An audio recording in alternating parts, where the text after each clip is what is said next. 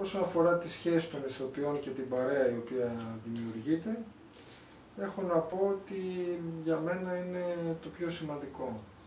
Είναι, είναι κάτι το οποίο οδηγεί σε μια μετουσίωση ε, τον ένα με τον άλλον. Αποκαλύπτονται ε, σπουδαίες πτυχές του καθενός, ανακαλύψει τα ταλέντα του κάθε ανθρώπου και το πώς αυτά τα ταλέντα όταν ενώνονται μπορούν να οδηγήσουν σε ένα ωραίο ομαδικό αποτέλεσμα το οποίο εξελίσσει ταυτόχρονα όλους.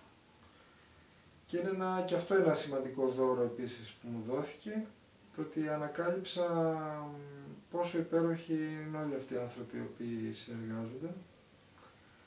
Ε, και μια και το δικό μου δόγμα είναι ότι όλοι οι άνθρωποι είναι υπέροχοι και ότι όλοι έχουν όμορφα στοιχεία να δώσουν, πόσο μάλλον μέσα από μια θεατρική παράσταση, όπου εκεί υποδίεσαι κάποιους ρόλους, ε, αναγκάζεσαι να κάνεις υπερβάσεις, να συνεργαστείς κάτω από δύσκολες συνθήκες, ε, να μοιραστείς όμορφες άσχημες εμπειρίες, αλλά τελικά να, να επικρατήσει η αγάπη και το ενδιαφέρον, το, το πραγματικό ενδιαφέρον του ενός για, το, για τον άλλον.